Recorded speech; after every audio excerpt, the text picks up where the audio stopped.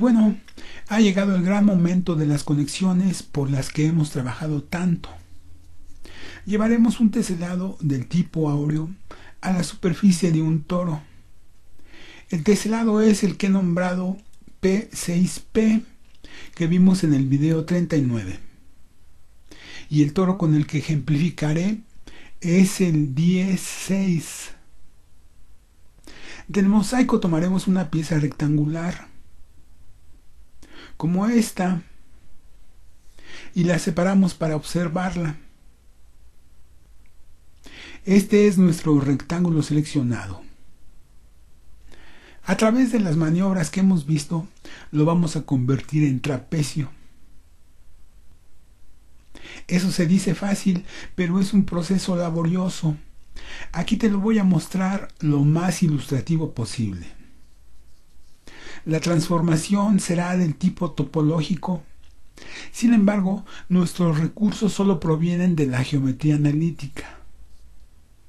Ya que lo hayamos hecho, integraremos al trapecio al toro. Quizá vaya a ser un video largo, así que digamos que esto es para los verdaderamente interesados en aprender o mejorar sus técnicas geométricas. Comencemos.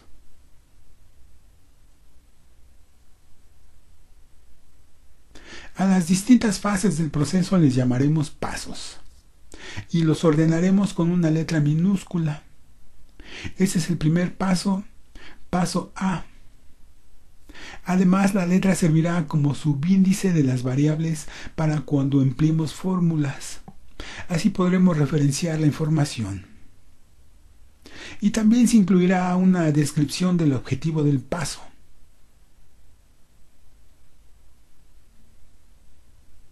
Este es el rectángulo y sus vértices y el listado de coordenadas.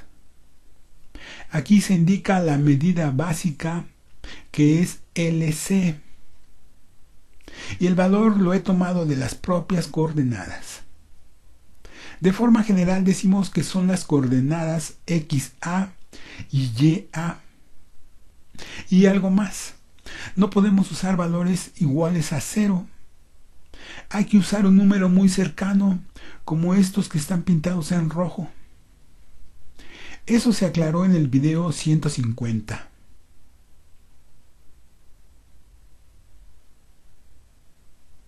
En esta investigación vamos a amalgamar mucha información. La del teselado, la del toro, la de la perspectiva y la de la corona poligonal, que es la que se incluye en este paso B.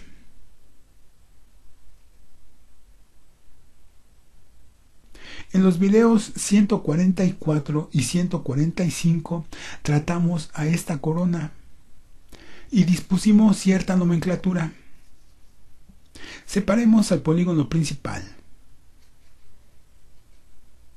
También en esos videos desarrollamos sus fórmulas. Algunos de esos valores los usaremos en una parte inicial.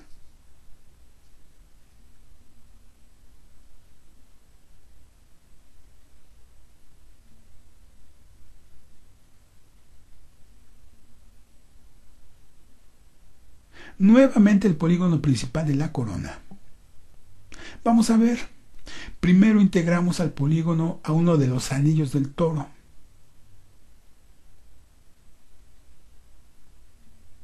Traemos al toro para ubicar al anillo.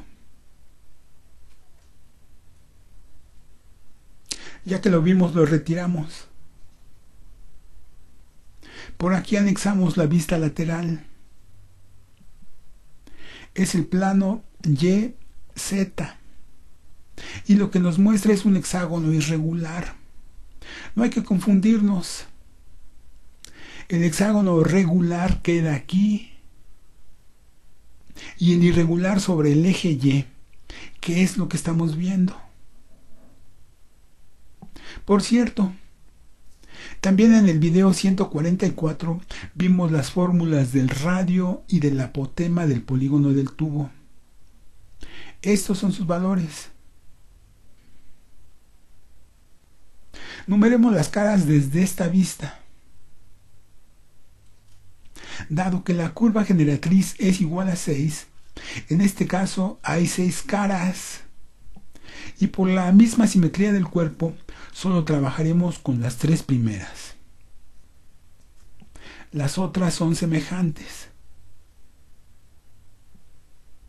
Ahora veamos la nomenclatura sobre otro de los trapecios, en el de la cara 1. Para ello rotamos al anillo para que quede aquí arriba en forma horizontal.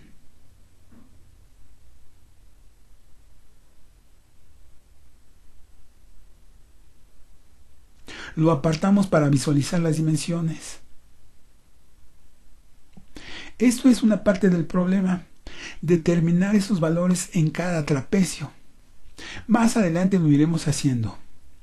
Ahorita veamos que para diferenciar la letra L ha quedado en mayúscula.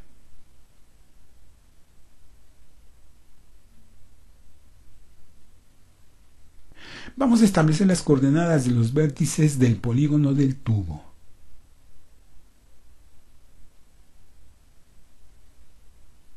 Estamos ubicando al polígono del tubo en la vista superior y en la frontal. Y ojo, es el plano XZ. Aquí vemos las dimensiones y en base a la información que hemos generado, estas son las coordenadas.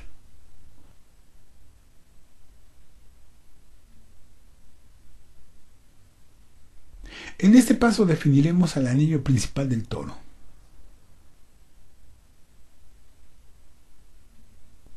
Estos son los vértices del polígono del tubo. Y hay que llevarlos a esta posición de tal forma que caigan en el costado derecho del anillo principal. Para lograr la rotación de los vértices, en el video 145 establecimos este par de ecuaciones y esta magnitud. Para que los puntos se pongan en el lugar que deseamos, asignamos a m este valor. Lo sustituimos y tras desarrollar obtenemos estos resultados. Además le incluimos la cota. Tomando uno a uno abscisa y cota del paso anterior, encontramos nuevos valores.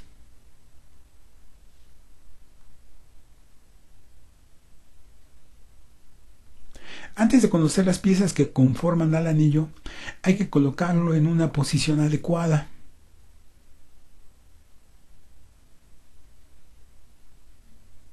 Si le restamos el apotema A subíndice C a las ordenadas, moveremos al anillo para que este centro quede sobre el origen. Las coordenadas generales son estas y la figura adquiere otra posición. Se producen estos nuevos valores.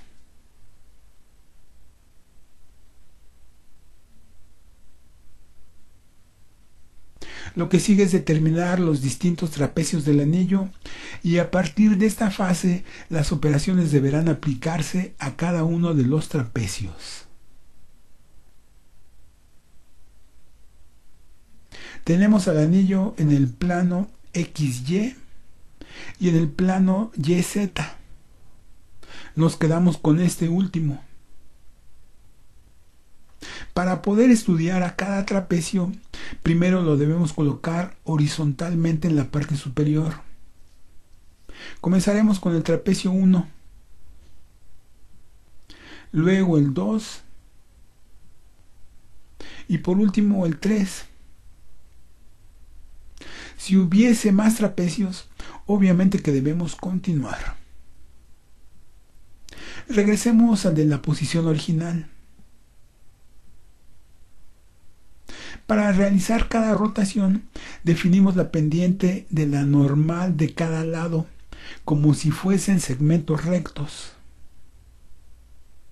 Es decir, que hay que definir este ángulo gamma. Por relaciones angulares, también lo encontramos en este vértice. Para definirlo, triangulamos. y procedemos por trigonometría. Aquí es donde empieza la parte donde debemos tener mucho cuidado para no enredarnos. En primer lugar, se proporcionan las coordenadas que vimos en el paso anterior. Y obtenemos el ángulo gamma del trapecio 1. Para el trapecio 2, sin mover nada, en lugar de los puntos 0 y 1, serán los valores de los puntos 1 y 2.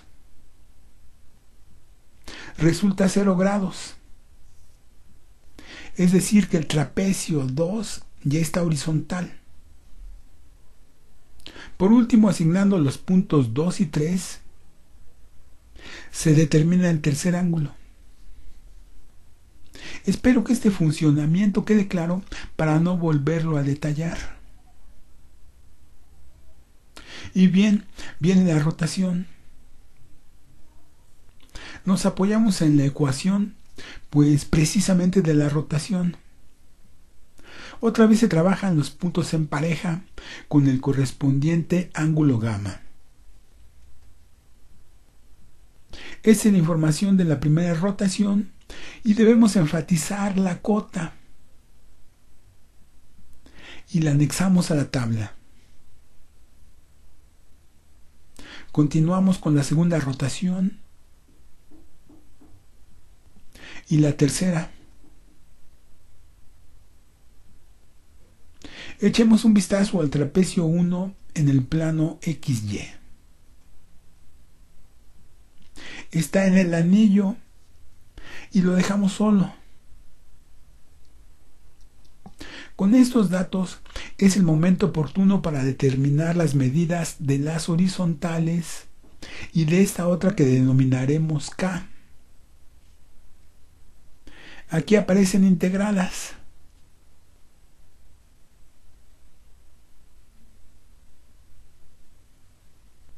En este paso comenzamos definiendo valores relacionados a la perspectiva.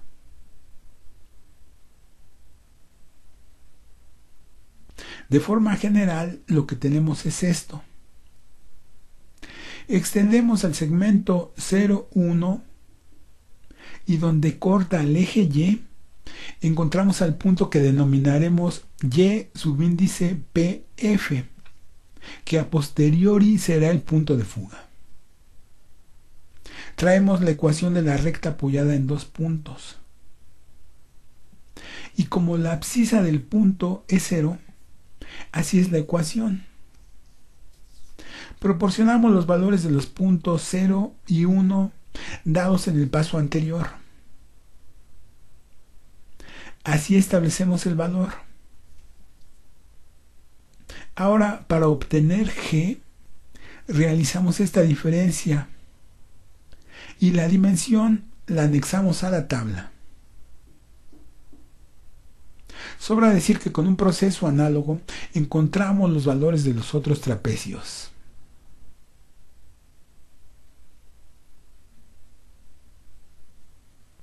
Es tiempo de ir haciendo el planteamiento de la perspectiva y algo fundamental es proporcionar la prototesela a las dimensiones del trapecio. Con la información que hemos ido acumulando, logramos este acabado de la perspectiva a un punto de fuga. Ubicamos la dimensión G. El plano de corte puede estar en cualquier medida, pero lo dejamos a una distancia d igual a 2g del eje X. Traemos la prototesela debemos cambiar su ancho actual para que sea igual a LE. Procedemos por regla de 3 y así obtenemos ese factor. Para el trapecio 1, su valor es de 1.62. Hay que multiplicarlo por cada valor de las coordenadas que hay en el paso A. Al hacerlo, ese valor será igual a LE. Cuando se ha proporcionado la prototesela, procedemos a calcular su altura I. Esto se hará según la figura y según las ordenadas de los extremos. En este particular caso, tenemos que es igual a 4.24. Vayamos a ver los resultados. Son las coordenadas del teselado para el trapecio 1. Y también listamos las de los otros dos.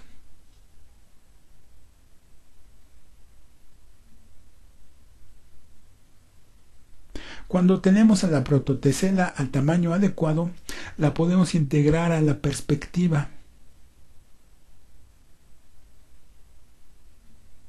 Tenemos la perspectiva y a la prototesela. Las empalmamos en un solo sistema. Llevamos al teselado a su posición. Eso se logra al agregar d más la mitad de i a las ordenadas. Veamos las coordenadas. Estos son los listados y espero que vaya siguiendo la secuencia. Regresemos. Para continuar sustituyamos a la prototesela por otra genérica.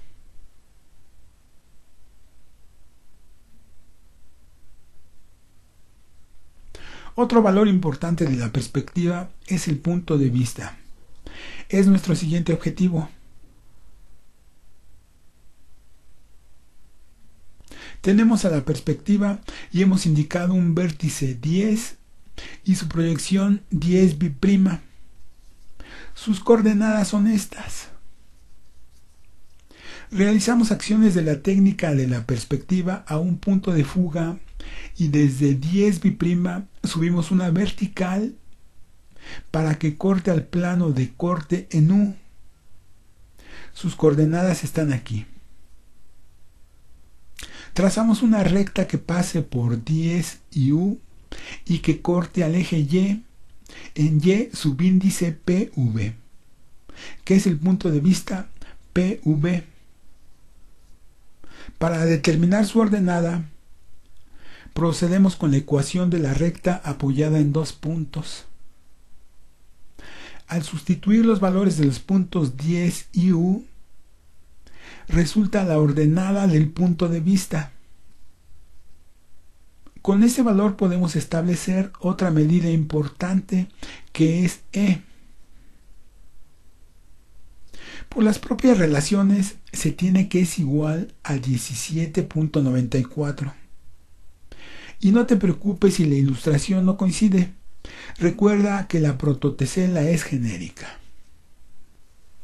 Bien, de igual manera determinamos las magnitudes de los otros trapecios.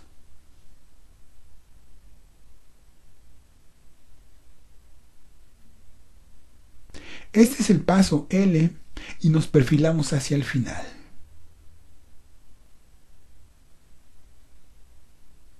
En el video 149 dimos a conocer estas ecuaciones que son para la conversión a perspectiva. Solo hay que depurarlas para nuestro sistema. Como no hemos movido la línea visual, tenemos que f es igual a cero.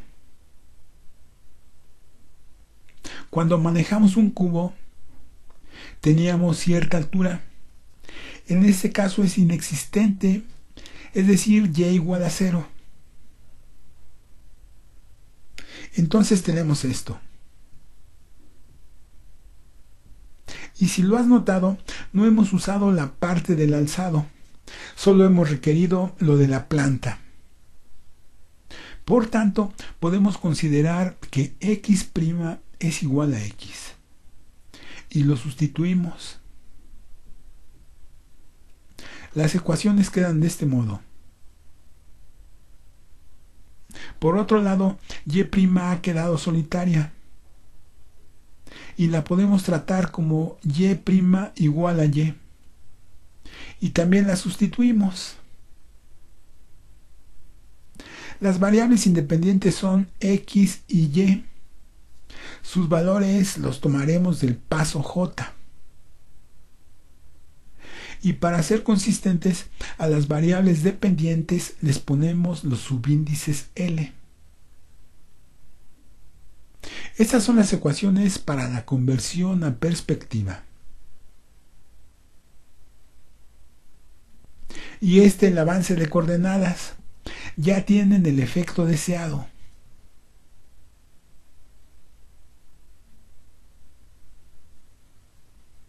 Lo que tenemos hasta aquí es esto. Es el primero de los tres trapecios. Vamos a hacer una especie de proceso regresivo hasta acomodarlo en el lugar que le corresponde dentro del toro. Primeramente rotamos al teselado 180 grados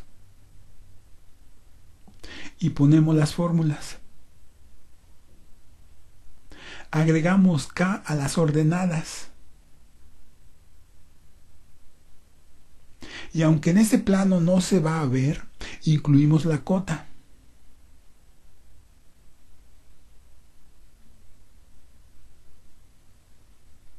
En el plano YZ hacemos una rotación a favor de las manecillas del reloj.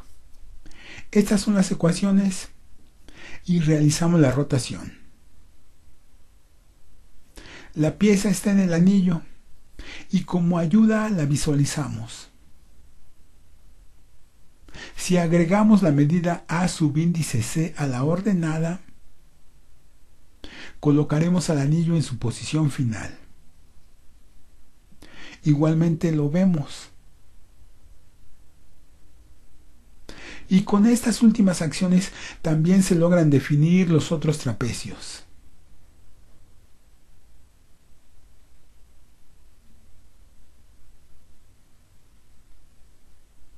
En el paso C hablamos de los trapecios semejantes. Se establecerán con estas ecuaciones y con ello estaremos formando por completo al anillo. Posteriormente, con rotaciones, se llevará a todo el toro para concluir con el decorado. Y no nos podemos ir sin ver las coordenadas finales. Esto es lo correspondiente a los tres trapecios básicos dentro del toro. Con esa información uno ya puede ir a trabajar con su programa favorito, ya sea AutoCAD, GeoGebra o con el que estés habituado.